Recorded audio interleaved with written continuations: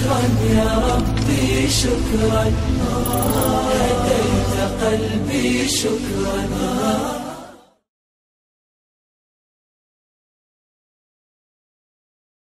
Salam əziz izləyicilər. Bugünkü verilişimizin mövzusu insanı ucaldan 5 əməl haqqında olacaq.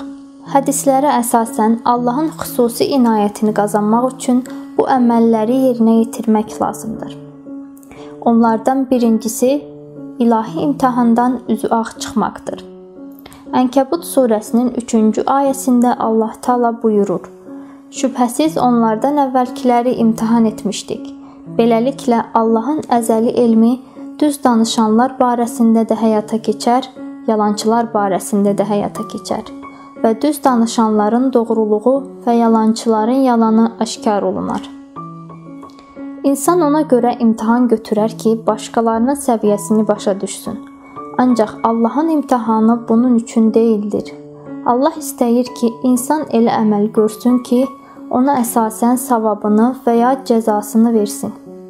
Misal üçün, Allah bilir ki, filan kəs filan hadisə qarşısında hansı reaksiyanı verə bilər. Ancaq bu bilgisinə görə ona heç bir zaman savab və cəza verməz. Necə ki biz bilirik ki, filan dərzi filan paltarı tikə bilər, yoxsa yox. Ancaq bu bilgimizə görə ona pul vermirik. İnsan gərək əməl görsün ki, onun əsasında savab və ya cəzaya layiq ola bilsin. İmam Əli əleyhissalam buyurur: İlahi imtahan Allahın elm əldə etməsi üçün deyildir. Ona görədir ki, insan əməl görsün və cəzası və ya savabı da ona uyğun olsun. Bəli, buna görə də imtahan olmazsa, insanın şəxsiyyətini tanımaq olmaz. İnsanın hadisələr qarşısında səbrini tanımaq olmaz. İnsanın təslim və riza sifətini tanımaq olmaz.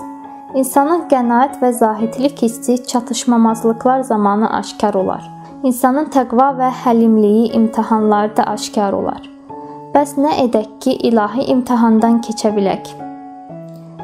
1. Allahdan yardım istəmək. İkincisi, səbrin savabına diqqət etmək.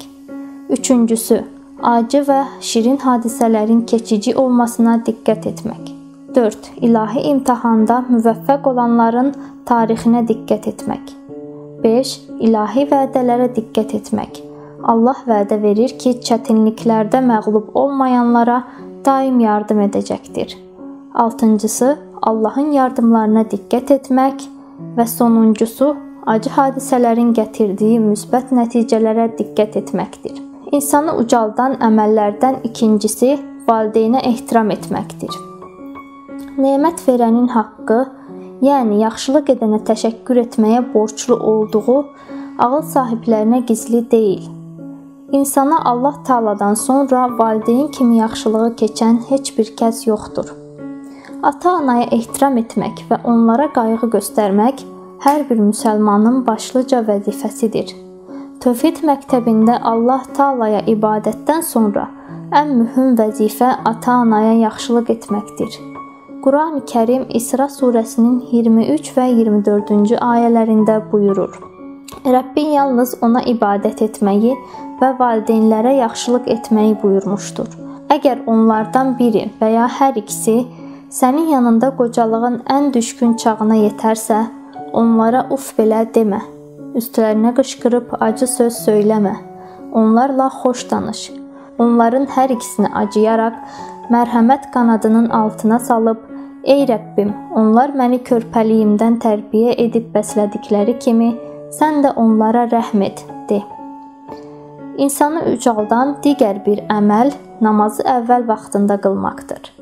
Namaz dinimizin sütunudur. Namazı əvvəl vaxtında qılmaq çox mühümdür və buna aid çox sayda hədislər var. İmam Sadiq əleyhissalam buyurur: Namazı əvvəl vaxtda qılmağın axır vaxtda qılmağa fəzilət və üstünlüyü axiretin dünyaya olan üstünlüyü və fəziləti kimidir.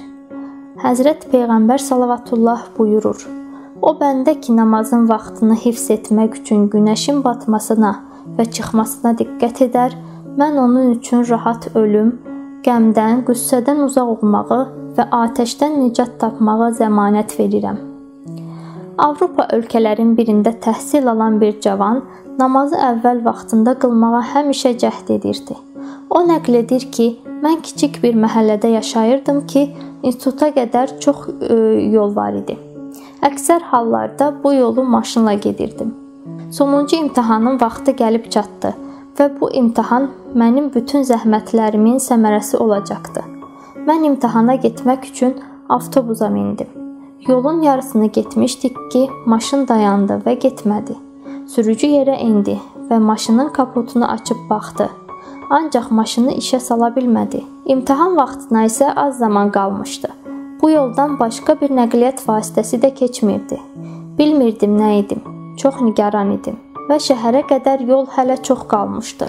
Öz-özümə düşündüm ki, artıq bütün səylərim boşa getmişdi və mən bu imtahana çata bilmədim.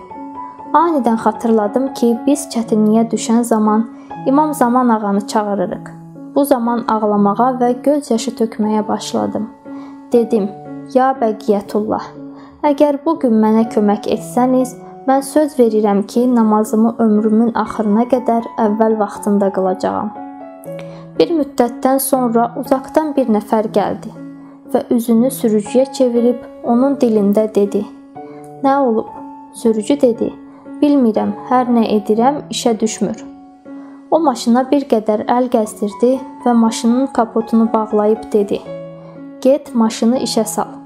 Sürücü maşını işə saldı və maşın işlədi. Hamı maşına mindi və maşın getmək istəyən zaman həmin kişi yuxarı qalxdı və məni adımla çağırıb dedi: "Bizə verdiyin sözü unutma. Namazı əvvəl vaxtında qıl." Sonra maşından düşüb getdi və mən bir daha onu görə bilmədim. İnsanı ucaldan əməllərdən biri də gün ərzində ən azı 10 dəfə İxlas surəsini oxumaqdır. Hədislərimizin nəzərinə görə İxlas surəsinin savabı Quranın 3də 1-ni oxumağın savabına bərabərdir. Ona görə də o kəs ki 3 dəfə İxlas surəsini oxuyarsa, sanki Quranın hamısını oxumuş kimi olar. Allah Taala ona Quranı bir dəfə xətm etməyin savabını verər. İmam Sadiq əleyhissalam buyurur: Hər kim Tövhid surəsini oxuyarsa, dünya və axirət xeyri onun üçün cəm olar. Öz günahları, ata və anasının günahları və övladlarının günahlarını bağışlayar. İmam Əli əleyhissalam buyurur: Əgər kimsə yatan zaman yatağında qərar tutanda Tövhid, yəni İxlas surəsini oxuyarsa, Allah 50 min mələyi məmur edər ki, onu həmin gecədə qorusunlar. İnsanı ucaldan əməllərin sonuncusu insanlara xidmət etməkdir. Xüsusilə də mömin bu sifəti ilə tanınar. Allaha bəndəliyin əməldə ilk göstəricisi məhz insanlara xidmət xüsusiyyətidir. İmanın göstəricisi də təmənnasız, qarşılıq gözləmədən insanlara xidmət etməsidir. Allah bəzən insanlara yuxu vasitəsilə istiqamət göstərir, hidayət edir. Alimlərdən biri deyir: Bir gün yuxuda gördüm ki, Peyğəmbər sallavatullahın məclisində böyük və əzəmətli alimlər əyləşib. Peyğəmbərin yanında isə Ayətullah Birucirdi oturub. Lakin ondan böyük alimlər daha aşağıda əyləşiblər. Bu fikir ağlımdan keçəndə Peyğəmbər sallallahu buyurdu ki, cəmaata xidmətinə görədir. Bir gün Peyğəmbər sallallahu soruşurlar ki, ya Rəsulallah, ən abid şəxs kimdir? buyurdu ki, cəmaata daha çox fayda verən insan. Əziz izləyicilərimiz, bugünkü verilişimiz sona çatdı. Gələn görüşlərədək Allaha əmanət olun.